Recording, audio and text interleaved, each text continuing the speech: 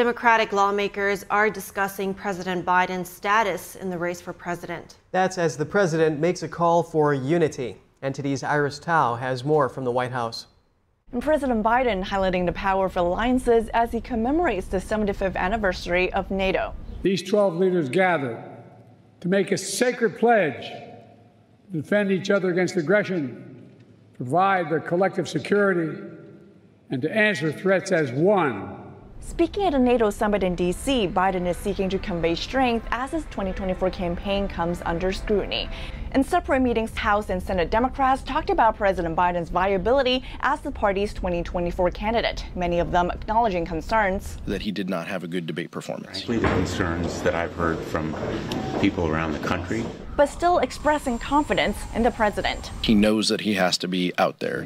He needs to continue to make that case. The American people earn their support. He's going to be on the road talking about Project 2025 and the things people care about. Do you think Joe Biden all the way? Yes. Yes. Joe Biden. Yes. Meanwhile, a few House Democrats are calling for him to drop out. A dismissive letter is not going to change any minds. But the White House on Tuesday said Biden would not stop. Some congressional members who feel differently, it is that is that is up to them, right? The president wants to continue. He's going to have those conversations. He's going to engage.